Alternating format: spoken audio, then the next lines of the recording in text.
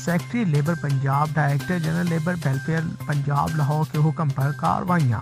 महकमा labour Sheikhupura in action petrol pumps पर मुलाजमीन की ज़रूरत और काम के दौरानिया की चेकिंग पैंतीस पेट्रोल पंप्स के चलान का अज कम उजरत एक्ट दो हज़ार उन्नीस के तहत मुतल अदालत में भिजवा दिए गए।